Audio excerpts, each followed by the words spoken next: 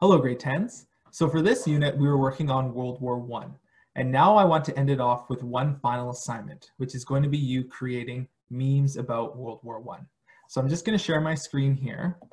And I'm going to explain to you the World War One meme assignment.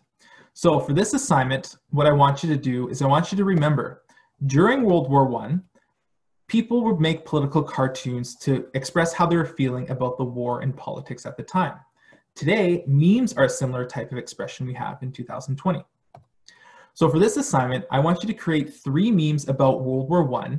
These memes could be funny or informative, they must be school appropriate, and they must be related to World War I, the topics and themes.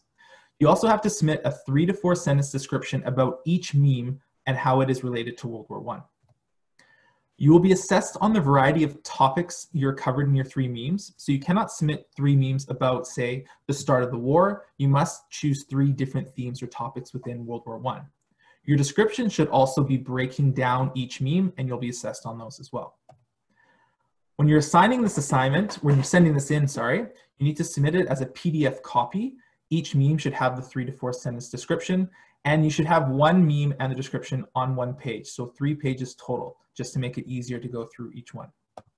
Here are some examples. So we have Walter from The Big Lebowski, and it's captioned here, Russia. If you heard Serbia at all, describing how the start of World War I, that chain reaction.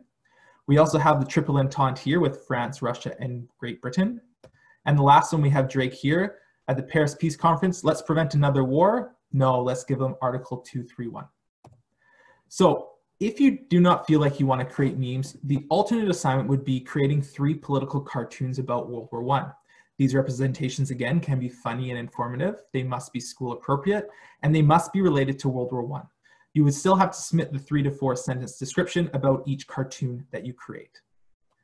If you need help with any of creating memes, here are two links about meme generators. And also if you're drawing it by hand, you can just submit it as a picture um, to my email.